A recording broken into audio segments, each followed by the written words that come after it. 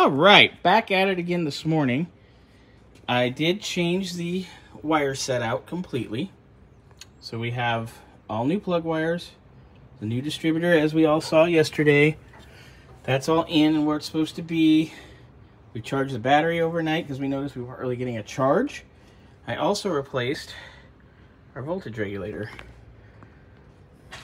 which is something that Steven and I discussed the other day. Oh, and here's AutoZone to interrupt our video. So anyway, in a moment, we will fire this up. All right, so we're setting the Noco on here. The battery did charge all night, but look, 13.3. Nice. You don't need to turn it on. It's got enough ass right now. Okay, so Scotty, you be my key man. And uh, let's see if we can get her to run and not like chit. Ready? Fire in the hole. Go ahead.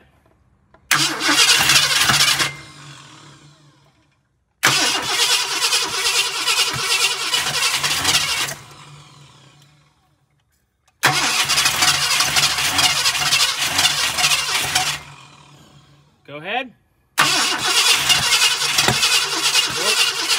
Stop. Popping through the carb. Go.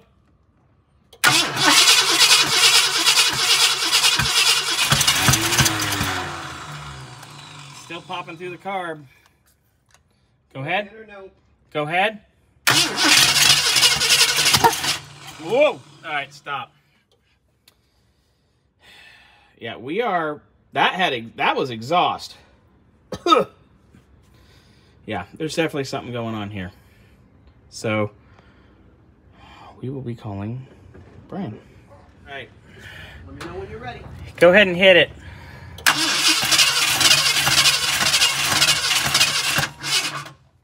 Yeah. Go ahead.